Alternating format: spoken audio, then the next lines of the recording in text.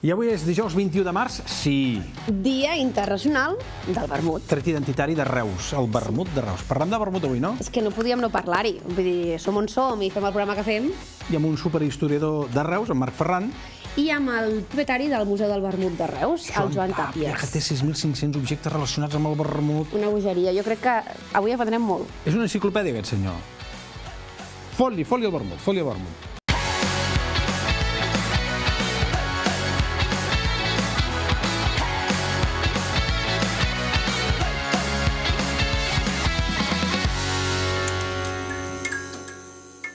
El Marc Ferran és historiador, és el director del Museu de Reus. Benvingut, com estàs, Marc? Ens acompanya també el Joan Tàpies, ell és el propietari del Museu del Vermut de Reus. Què tal, com estem? Què tal? Com va això? Escolteu, uh, és que ara ja ho diem, quedem per fer un vermut. La cosa ja ha arribat a un, a un punt. Jo després faré una Coca-Cola Zero, eh? Pues després ho diré. Però quedem per fer un vermut. L'expressió s'ha consolidat. Vivim el millor moment del vermut, Marc, Joan? Home, jo crec que sí. Jo crec que fa, des de fa uns 10 anys que s'està visquent una, una revifalla de lo que era el vermut en si. És a dir, el vermut no ha passat mai de moda perquè la prova està en que, en que s'ha anat eh, fabricant i les empreses han apostat fort. Però ara, sí, ara portem uns 10 anys en què hi ha hagut una gran revifalla. I crec que es pot dir que està de moda i té pinta de que durarà. Què ho ha fet possible, això? Què diu que ho està, que ho està fent possible? Què està passant, Marc? Bueno, no sé, jo crec que d'una banda la promoció, d'una banda, i l'altra també la qualitat del producte que ha anat millorant. És a dir, ara no podem tastar els vermuts que es feien a principis del segle XX, però segurament eh, els superaríem. El superaria, però que eren, Jo com crec que ratafia, que eren més ratafia que vermut, potser, o què? No, però jo perquè crec que la tècnica ha anat evolucionant i eh, s'ha millorat en aquest aspecte. És, dir, és química, no deixa de ser química, i per tant, en aquest sentit ha, ha millorat. Però no és una química industrial com la que podem imaginar, No, sinó no. és, quim, és el químic, herbes, eh? Herbes, herbes. Però escolta, Marc, ara que estem amb tu, uh, el vermut, d'on sorgeix el vermut? Ve d'Itàlia el vermut? És El vam importar, el vam importar d'Itàlia, eh? I això ens ho pot explicar millor ell, que segurament ho sap. Passem el sí, vermut, és- Li passem el vermut amb ell. El vermut, sí, jo si vols et parlo parlo de l'aiguardent i dels vins i Val. de la filoxera, però el vermut potser passem-li amb ell. Que, per ordre cronològic, que hauria de ser ell primer? No, soc jo en tot Doncs cas. vostè primer. Jo t'explico la tradició, diguéssim, de, Endavant. que són 200 anys de tradició, l'aiguardent conegut pel Ros París i Londres famós, que això es passa al segle XVIII, que es posa de moda l'aiguardent perquè és un producte que en el, en el comerç mundial d'aquella època dels vaixells Sí. aguantava molt bé, per tant permetia ser transportat d'una banda i l'altra. Durant el segle XVIII eh, és aquest producte el que és, la, és, és el motor econòmic de la ciutat. Al segle XIX ja baixa el vermut, ai, perdó, l'aiguardent, però es manté que seria el comerç del vi, tot i que hi ha de cap a baixada, que la filoxera s'ho acaba patant. Ho peta tot. Sí. I llavors algú, no sé com, per què, ni de quina manera, mira Itàlia o algú ve d'Itàlia amb vermut, Joan? Sí. En principi, és a dir, l'origen que tenim nosaltres aquí del vermut és d'Itàlia. Aquestes empreses que hi havia en aquell, en aquell moment, que, diguem-ne, reciclen una mica eh, degut a la, a la crisi de, dels mercats de l'alcohol, també, eh, van anar a Itàlia a buscar aquestes receptes, a trobar aquestes receptes d'aquest vi famós aperitiu que s'ha posat de moda a Europa, tant a França com a, com a Itàlia. Però diguem-ne que les primeres, les primeres receptes que arriben a Catalunya i aquí a Reus són d'Itàlia, encara que l'origen del vermut ens n'hem d'anar més enrere i ve d'Alemanya. Alemanya? Sí. Com, el- feien més o menys el mateix? Era el mateix o era una altra Sí, a història? veure, el vermut va néixer com quasi tots aquests tipus d'aperitius com una beguda eh, medicinal, terapèutica. Bo. Llavors, i, i, i, i amb capellats pel mig. I llavors això, la, hi- hi ha receptes antigues, jo, jo n'he trobat del 1500 i pic, 1542 crec que és per ser exacte, a un, uns, uns, uns fraires de la Baviera Sí, sí. feien aquest tipus de, de barbatge i llavors això va passar a Itàlia i, di, i di, va, va córrer. És dir, com totes les begudes que es fan una mica famoses, doncs va, va córrer. A Itàlia va ser a Torino, finals de 1700, i d'aquí va passar a França 1821, i llavors a mitjans de, de 1850, 1860 aproximadament, va ser com va fer cap aquí a Catalunya a Reus. Quin domini, no, Ferran? Jo, anem a fer un vermut i el deixem aquí, que vagi Per explicant. això té el Museu del Vermut. Per això el té, perquè si no, no pot... Però hi, ha, hi ha qui el podria tenir per, per tenir allò per, per postureig, no? Però aquest home s'ho no, estima, això, eh? Joan, això t'ho estimes? Home, sí, saps què passa? És, és, és un hobby, és un hobby que fa molts anys que tinc i, i que m'ha donat moltes hores de satisfacció. Trobar coses eh, i a part, doncs, eh, com que he trobat molt de llibre, és a dir, remenat molt, he fet I molt és- de rata de mirant, biblioteca. I llavors això, doncs, clar, també m'ha- ajudat molt a, a conèixer una mica aquest món, que fa 10 o 12 anys enrere era un món completament desconegut, que ningú coneixia i que fins i tot no en tenien massa que em dediqués a, com a hobby, en lloc de col·leccionar segells, col·leccionar vermut, no? Però què fas? Jo xapes de cava. Però, Joan, Joan, Joan, uh, has pogut arribar a tastar mai... Quin és el vermut més antic que... Es... Això, s'ho recordes. Quin és el vermut més antic que has pogut arribar a tastar? Antic. Però allò que dèiem, no sé si, si, si ens n'ha A arribat veure, algun per dir, noi... el, el problema de tastar un vermut antic és que has de tindre com a mínim dues botelles perquè és una llàstima obrir una botella per tastar-la perquè llavors automàticament se fa malbé. A part, els vermuts que són molt antics, jo tinc vermuts de més de 100 anys, de finals de 1880, Ah, 1890, oh. que és quan es va començar a embotellar el vermut, eh, que estan mig evaporats. A veure, jo el més antic que he provat, que vaig tindre la sort d'aconseguir dues botelles, va ser un vermut italià de, mil, de, del 1920 aproximadament. Va, home. Sí. I què tal? Molta diferència amb el d'ara o...? Sí, home, sí. A veure, es concentra molt, eh, surt molt sucre, és a dir, es converteix com un tipus moscatell. Ah, era més moscatell que vermut d'ara, eh? Sí.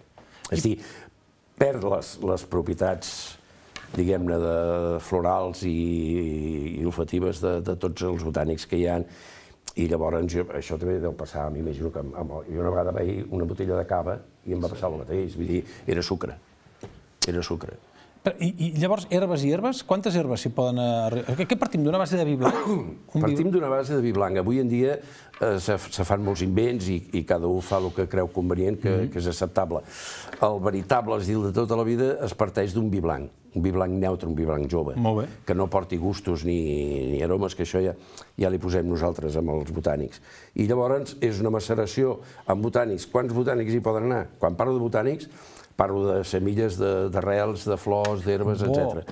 Eh, hi ha un llibre que es diu Natural Wines que permet 514 botànics. És un llibre bastant antic, això deu estar actualitzat i jo no el tinc actualitzat. Però bueno, hi ha vermuts que es fan amb 20 botànics i vermuts que es fan amb 150 botànics. Això ja depèn una mica del, del productor, del fabricant. La potència del vermut a Reus eh, és alta, no, també, Marc? Vull dir, com perquè després eh, de Reus van a Madrid i de Madrid eh, s'escampa per Europa el vermut de Reus. En la indústria de, dels vins de, de finals del, del 19, el vermut es posa de moda i a Reus hi havia una indústria que imitava vins d'altres llocs, Jerez, etc. Llavors el que, el que es va trobar va ser no sé quin va ser el motiu, però eh, en el vermut van trobar la, la, la manera de, de, de tenir un producte que tingués que fes aquesta fama. No?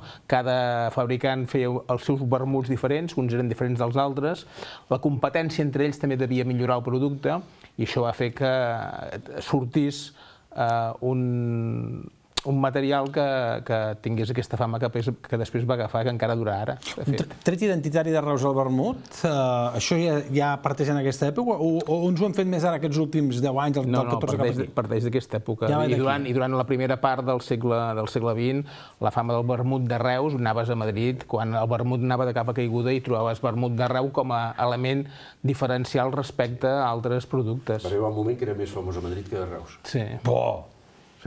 Fort. És a dir, Reus va tindre una gran entrada, va entrar el 1901, va entrar una empresa de Reus que es deia Miro Tarragó, que no existeix, i va tindre tal d'èxit que, que un establiment que tingués vermut de Reus era com un signe de qualitat eh, bestial. I en canvi aquí anàvem de capa caiguda. Com es deia? L'empresa es deia? Miro Tarragó. Vino Tarragó, eh? Miró, Miró Tarragó. Miró Tarragó. Sí, que no existeix. Hosti, Però per... no és el Miró... No té res a Però no veure. té res amb el Miró. Miró. És el Miró Tarragó, aquest és un altre, ja no existeix. Eren dos socis, però no tenen res a veure amb el Miró. I va proliferar molt aquí a Reus el, el vermut, eh, va ser un, un element, com dèiem abans, sí. eh, un element de subsistència. Jo, Joan, a casa vostra em deies, eh?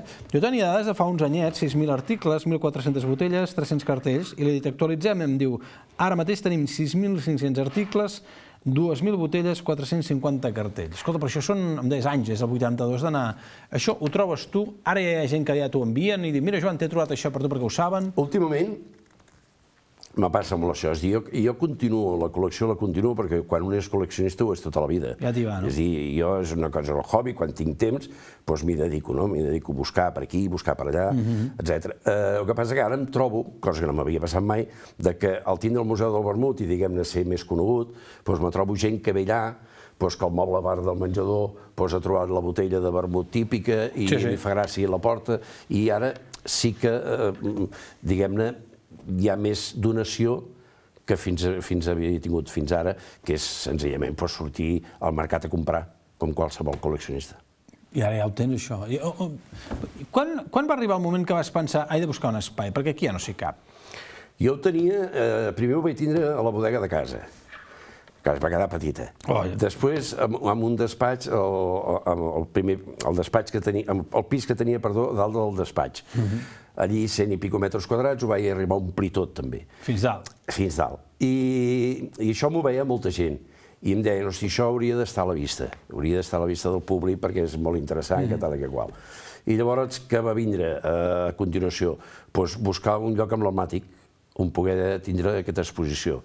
I el 2013 vam tindre la sort de trobar l'edifici de Vallroquetes i la família el vam comprar. I llavors ens van començar les obres i el 2014 es va inaugurar el museu. Ja vas tenir. I Llavors, clar, el que no podíem fer era fer només un museu del vermut, sinó que llavors ho vam ajuntar doncs, amb vermuteria, restaurant, etc etc etc. I ja ho teniu. I ja està. I el negoci funciona. Ara farà 10 anys. 10 anys, eh? Sí. Alguna festa en especial? Ja l'heu fet? Hi ha alguna sorpresa Ah, preparada. veus, és clar, és que això... 2014-2014, 24 som Al ja. setembre, al setembre d'aquest any. Per tant, al setembre hem d'estar atents. Al setembre hem d'estar atents. Estigueu atents. Sí, sí, alguna ho farem. L'element més rar, més estrany que tingueu, allò que dius és que és únic, i em diràs que molts ho deuen ser únics, no? D'objectes? Sí, sí, sí. Moltes coses, moltes, moltes, no acabaríem. Mira, una anècdota, que no és que sigui raro, però és, és, és la procedència. Uh, un botellín d'un vermut de Reus el vaig trobar a Xina. Va, home! Això et dic, hi ha coses molt rares. Això no és raro, perquè és un botellín d'un vermut, de, d'un vermut famós, Però, antic, d'una bodega que no existeix. Però en lloc de trobar-lo per aquí, que era lo lògic, doncs es va trobar a Xina. Vas trobar a Xina, eh? Llibres de vermut amb tots els idiomes? Sí, aquesta és la putada. Ai, No, perquè no pots diputada, eh? perquè llavors és segons quins ja no... Sí, uh, no, perquè saps què passa? Clar, uh, a veure, fins i tot no tinc en llatí. Vull dir que és, és, és una mica complicat. Però bueno, m'hi entretinc. Un vermut japonès? Existeix un vermut fet i a Japó, per exemple? I tant, al museu n'hi ha un, de col·lecció. Ara, a l'actualitat, no ho sé, però antic n'hi ha un. Se'n feia, o Sí, aquella gent feia. algun dia van provar. i- Se'n feia, és que de vermut se'n feia a tot el món. Ah, ah, ah. És dir, pensa que eh, jo tinc... Al museu hi ha 2.200 i pico de marques Mhm. representades de 57 països diferents del món.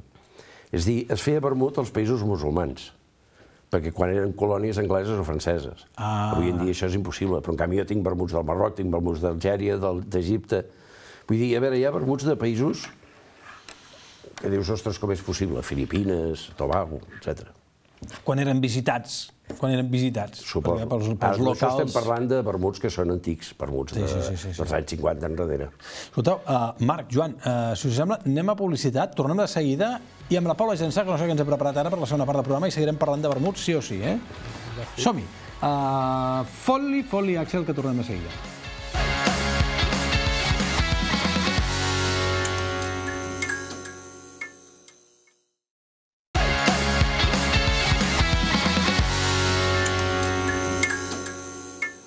Va, que arribem a la segona part del programa. Paula Jansà ens ha preparat un quiz. Clar, ella entra tota contenta i feliç i nosaltres tremolem, perquè un quiz és un, és un preguntes i a veure, a veure si la, que l'encertis, no? Sí, però és fàcil. El que he decidit, mentre veia la primera part del programa, és que el Joan serà l'últim en contestar. Sí, no? Perquè me sembla que tot el quiz se n'anirà a Norris, Ho si no... rebentarà tot. Sí, llavors, llavors he decidit Buah. que per ordre Valtros, el Marc i tu contesteu lliurement i ell que sigui l'últim, perquè és que Ah, sabrà Marc, tot. pillem tu i jo, eh? Però no passa El res. Joan- Ja, no, no, no, no ens en podem escapar. Jo crec que el Joan ja ha d'entrar directament i dir si sí, si no, saps? El, jurat, el veredicte del jurat. Exacte, és el jurat, exacte. I jo ja jurat. només corroboraré. Gros, eh? Va, us he preparat Va, primer els vermuts més cars, vale? Us posaré una foto d'un vermut, n'hi ha Mm. quatre. A diferents preus, aquest és el primer, i m'heu de dir quin preu creieu que té aquesta ampolla de vermut. Una ampolla, eh? Estem parlant tota l'estona. 250 euros, potser. 250. 250 a la una. Només Només? una ampolla de vermut, la més cara del món. Ah, és la, aquesta és la més cara del La món. més cara. 450. 450. Un moment, un moment. Vinga, pujas. Ah, 2.000, 3.000 euros. 3.000 euros, va. 2.000, 3.000 euros. Va, la bestiesa... Vale, quan- sabeu quan val aquesta ampolla? 115, 120 euros. En De debò? Joan, es confirma? Es confirma. Però com pot ser això? Doncs pues ja és cara. Jo, pues jo la trobo molt barata. Ja és Clar, cara, és que si ja la comparem amb vins, no? amb whiskies, amb coses així que És que no es pot comparar. No es pot comparar, són dues coses completament diferents. Però que és de patacar el vermut, doncs. No, però el vermut és una beguda que sempre ha sigut molt assequible, molt econòmica. Mm. Per això triomfa el que també està triomfant. I llavors eh, la gent no està habituada a prendre's un vermut, un vermut de 120 euros que val aquesta ampolla, mm. eh, jo què sé, s'ha de servir a 30 o 35 el... Triomfa el que està el triomfant, què vol dir? Que és molt dolç. Eh, Mane? Dius, triomfa el que està triomfant, que és un vermut així, vinga. No, és el vermut que, que, que es fa, que és un vermut que és molt bo. Ah, ah, ah. Que, no, no, a veure, eh, està triomfant el vermut que, que, que, que es fa i sobretot el que fem a Reus, que és artesanal. I és un vermut molt bo. Jo em refereixo de que, de que el vermut sempre ha sigut una, una beguda que és, és assequible econòmicament. Eh, Llavors, mm, fer aquests vermuts eh, especials, aquest vermut precisament està fet, està, està envellit amb, amb roble italià i donar-li totes aquestes coses Gros és gros. eh, perquè valgui 115 o 120 euros, bueno, Vale, vale, d'acord. No, no repreguntaré més, eh? No, pa, no pateixis. Es diu Man Mancino Vecchio, com podeu veure aquí que Mancino posa. Vecchio. Val 115 euros i el més curiós que a mi m'ha semblat és que només fan 800 ampolles a l'any perquè, com diu el, el Joan, es deixa durant un any amb una, barrica, amb una barrica de roble i llavors es deixa allà macerant, no? Molt bé, molt bé. Va, anem a veure el següent. Vinga. Es talla, eh? Però bueno, la... aquesta és la imatge. Espera, espera, vull... Quan val aquest? No val que ho busquis, eh? No, no, 96.000 euros fan amb l'altre. A veure, aquí, sí, 800 per 120, saps? Vermut de què? Aquest, aquest què val? Sí. 90 euros, bueno, si hem d'anar així de, al rastro, 90 euros. 45. No, 103, Va. més o menys l'ampolla. Ja! I es veu que és una joia, eh? Pa- Mm, Ens ho explicarà el Joan potser, però es diu Islay Whisky Barril. H. Vermouth del professor, es diu la marca. Té un color curiós, és eh? una marca italiana que ha fet una col·lecció de vermuts en què macera amb, amb barriques amb fondos de whisky... coses. Exacte. Estem al·lucinant, eh? Amb el que saps. Estem Està al·lucinant. Bé. Està bé, el que passa que tot això surt del purisme del vermut. Ah, no ens agrada, doncs, Joan, eh? Perquè comencen a passar whisky, rons i coses així, llavors ja, Ja ja hi un vermut com a... sí, sí. Abans comentàvem que el vermut se feia en vi neutre, blanc. Avui en dia Andalusia el fan amb, amb xerès, eh, al nord el fan amb sidra, el fan amb xacolís i cada un... que està molt bé de que utilitzin els seus vermuts autòctons, no? però no deix de mm, perdre una mica l'essència del que era el vermut tota la vida. I el següent és exactament el mateix, o sigui, de la mateixa marca, fan exactament el mateix, el que passa que ho fan amb ron, el que dèiem ara. Del professor, eh? Sí, els deixen macerar eh, 18 o 19 mesos amb unes barriques on abans han fet ron o whisky i llavors s'impregnen no, d'aquest gust o aquest aroma que tenen. I aquest, en aquest cas, val 78 euros, l'ampolla, més o menys. I hi ha un últim, que aquest és el més car que he trobat, que és del nostre territori, que és el vermut de falset. El més car de tots és? Del nostre territori, sí. Ah, ah, ah. Sí, sí, val 66 euros. I el que fan és reposar-lo durant 5 anys en diferents barrils de roble, de roble, també. El que passa que ho fan aquí a la vora, no hem d'anar fins a... 65 euros? 5 anys? 5 anys està. Poden sortir els números tenint això? Saps? Vull dir, no. Si ho fan... És perquè els hi surten els números, no? Aquí, veus, aquí ja no hi vull entrar jo. No, jo... Aquí Això ja és més a No, prop. no, no, no. Va, i parlant del Camp de Tarragona, vale? us he preparat um, els vermuts mm, més típics d'aquí, llavors us he esborrat el nom del vermut i heu d'adivinar quin vermut quin és, és? vale? amb l'ampolla que tenen. Nois, vostre. Joan, l'últim, eh, de veritat, perquè si no... Joan t'encertaria un, un de xino. Petao! Un vermut xinès. Va, anem al primer. Va. A veure, els coneixereu. Jo us he borrat el Home. nom perquè així no sapigueu quin és. Home. Miró? Miró? Miro. Miró. Miró. Miró. Neix a Reus el 1957 i és mm, l'elaboració tradicional del vermut i és d'una família que ja venia vins aromatitzats i licors. Va, anem a veure el segon. Home. Sí, no? Izaguirre, no? Izaguirre? Izaguirre. Izaguirre. Què és Izaguirre o Izaguirre? Izaguirre. Izaguirre, eh? Mm, Castellanitzat, no?, la paraula. No, no, venen del, venen del País Basc francès, però és Izaguirre. No és catalanitzat. Izaguirre. Izaguirre. Punt. Izaguirre, de, de, de costat d'Andaia. M'ha agradat molt aquesta apreciació. Es funden el 1884 i han sabut interna internacionalitzar-se fins al punt de que es tenen presència en 40 països 1800, d'arreu són, del són món. més antics que el Miró. Sí, sí, bastant més antics. Fort, eh? Sí, sí. Però, ojo. Va, següent. Noi. Ah, ja comencen a no ser els típics, però encara una mica típic sí que ho és, però no és de tan... Reus de Müller. Quin és el vermut de Müller? doncs? No, no es diu Müller. No, ja, ja, però aquí ja... Això no... Us he borrat tot el que deia el seu nom, no, no t'he no, deixat ja, cap. ja. Marc? Aquesta no la reconec. Doncs pues aquesta és bastant típica encara, eh? La Rosita, no? És... La Això és una cervesa, això és una cervesa. Aquesta és de les, Jordi, no? de les bones de Reus. Iris. Iris. Oh. Vermut iris. Vermut iris. El celler de Müller va començar a fer-lo el 1851, encara abans que el vermut Izaguirre. Ole. Elaboren vins i després es donen a conèixer arreu del món i llavors aviat van fer aquest vermut iris i també reprodueix altres begudes alcohòliques com vins secs o escumosos. Va, més vermuts. Va, vinga. Fot-li... Tot el territori, eh? Com va Aquest també té una ampolla com molt peculiar. tu l'etiqueta aquí, Jo eh, totes, i a més hi ha, hi ha alguns que la posen en diversos llocs, aquest no és el cas, però hi ha alguns que m'he passat un de rato Una feinada, no? Aquí, tic, tic, tic. Els rofes, no? Molt bé, vermut rofes. Rofes, rofes, eh? Rofes. Què podem dir d'en rofes? Un dels primers vermuts de Reus. Sí, S'ha mantingut... Junt, junt amb l'Izaguirre, un dels primers elaboradors de vermut de Reus. 1890. Sí, Joan Tàpies és el convidat hipernecessari vell uh, si vols parlar de... L'enciclopèdia del vermut. és una enciclopèdia del vermut. No l'has fet? No la faràs? O és molta feina, això? Tinc, tinc, tinc alguna muntat, el que passa que Ah. ho, tinc, ho tinc arxivat de fa molts anys. Va, següent. Hauràs de fitxar algun periodista d'aquí a la tele. Seguim. A veure quin és aquest. No, no sabem. Jordi? Va, aquest del, del és que jo, museu, de del debò, vermut? no, mm, no, no, no sóc consumidor i llavors no m'hi fixo. A més, mireu què posa. Museu del vermut de Reus. Sí. Vermut Tàpies, no? Jo li he mirat la cara, només quan hem ensenyat el vermut li he mirat la cara. Vermut Tàpies. Va, no, té un nom Però, molt reusenc. Anava a dir, té un nom molt de Molt reusenc. Molt de Reus. Sí. Mestral? Eh? Mestral? Mastral, no. Té un nom molt reusenc um, que fa referència... Ah, algun edifici, alguna... No. El, el Prioral, no. No, La Quasi. Flor. He anat a la Prioral, el tiré. però no. No. Un, és persona. Ah, sí, el Prim, no. No, Prim no. Uh, Fortuny, tampoc. Gaudí. Una santa. Ah, oh, la pastoreta. No, a veure, seguim. Misericòrdia. Una santa misericòrdia. La pastoreta... Vale, en versió reduïda, molt bé. Misericòrdia, la missi. Vermut? Missi, m'agradaria vermut missi, però no. No? Cori.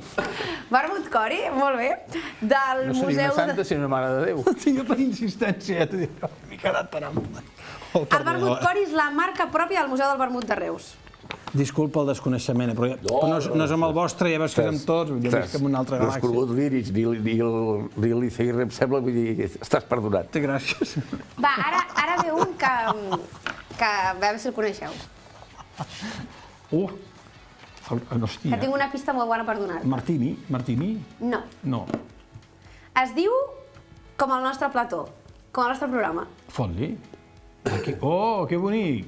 Fot-li.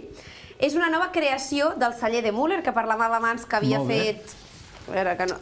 Uh, que havia fet el vermut iris, Sí. doncs és aquesta nova creació que també elabora doncs, com l'iris, ara elaboren el Però ja tenim el fot-li, molt bé, no? Sí, el vermut fot-li. Au. Va, queden dos.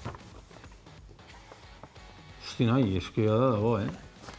Aquest sí que jo estic... Ma- Va, Joan, digue'l tu. sona l'ampolla. Hola, bé. A l'Olave, molt bé. Olave. És una marca relativament nova, neix el 2014, és a dir, fa només 10 anys. Però s'ha sapigut posicionar bastant ràpid i el podem trobar doncs, a molts Són llocs. de per aquí, aquests, també, o...? Sí, el fan, a, el fan al Morir. Tot és per aquí. Tot, no- si ja no ho has dit al principi, ja ho sé, eh? Però jo, jo, ja jo t'escolto, ja ho has dit que era per aquí, però dic, d'on exactament? Si no estic errat, el fa l'Izaguirre, l'elabora l'Izaguirre. Molt bé. Perquè alguns elaboren, en- en- alguns els elaboren i llavors els hi posen un altre nom, pot ser? Si Sí, home, perquè, Una marca fa un vermut per una altra marca. per exemple, el Cori que no no el fem nosaltres clar. perquè nosaltres no tenim bodega. Ens el fa el Miró. Veus? El millor fa altres, ens el- altres ens vermuts. i ens Jo tinc posat aquí que l'Olave es fa a, al Morell i el fa al celler, el celler Sort del, Que del és, el, Castell. és l'Izaguirre. Va, l'últim. L'últim que ens quedem sense temps. Nois, jo... Jo estic com tu, eh? Jo miro el Joan, ja. Joan, som-hi, va. Hort del camp. Hora del camp. L'entitat cooperativista una, eh? Cellers Unió etiqueta el vermut Hort del Camp que està elaborat per vermuts Mirota. Molt bé, És a dir, al final tot queda en família. Tot queda... Tot queda per la zona. Tots se fan dos o tres bodegues. I aquest, I aquest vermut al Martini, vull dir, és una cosa que ha sigut el més popular, no? Ja no és vermut. Hi havia el Chico Martini. Ho era o no? Ara ja no és vermut. Ara què és, doncs? Ara és un aperitiu. Ara s'ha convertit en un aperitiu. Perquè no... És una categoria, això? Perquè, sí, perquè per ser vermut has de, has de complir unes petites normes de quantitats d'alcohol, de quantitats de vi, de quantitats de sucre, etc I el no. vermut, el martini, tot això s'ha anat, s'ha anat fent a la seva manera i s'ha convertit... És a dir, ha, ha- ha tingut... El, té la gran potència de perdre el nom de vermut i continuar sent... I el percebem com el mateix producte. Ah, eh? exacte. És fort, això. Bueno, és la marca Martini que durant molts anys va, va monopolitzar el que seria el tema del vermut, Sí, no? sí. I llavors a tot arreu. I això, d'això encara fins i viu. Tot, és a dir, no era anar a fer el vermut, sinó anem Anar fent un martini. Martini, sí, sí. I hi havia el Chico Martini, que si ara fan la Chica. Martini, peta tot, eh? També hi era. També hi era el Chico tot- Martini, la Chica Martini hi era? sí, sí. en recordeu? I la van canviar, no? Que sí? O la van mantenir? Allà la Chica No, no Martini... sé, però- a, mi, a em grinyolava ja, eh? Sí, sí, Em diu que marxem ja? Ja hem de marxar?